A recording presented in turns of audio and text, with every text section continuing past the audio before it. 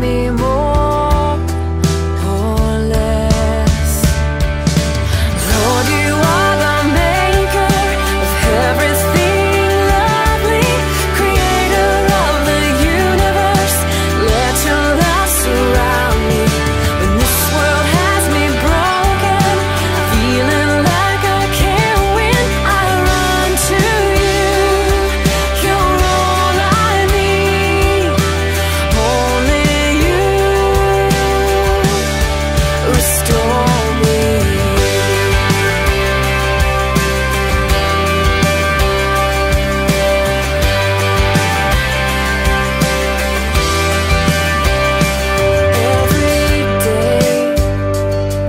all the strength I need for every step and every breath I breathe.